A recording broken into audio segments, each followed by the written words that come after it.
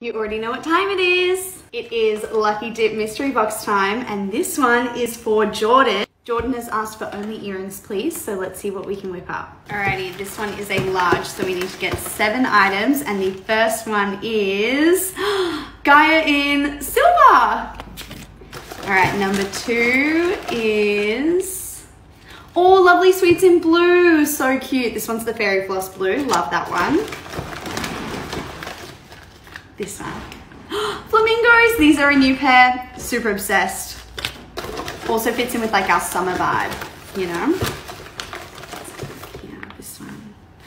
Oh, the mini macaroons in green. I love these, they look good enough to eat. Okay, we're four down, three to go. What have we got here? This one. The chain to you ring, oh, there it is, in the um, bluey greeny color, super cute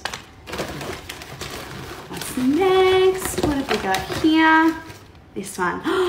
the mini Oreos in the classic like Oreo color. Super cute. Love this. Alrighty, Jordan. Lucky last. What's it gonna be? This one.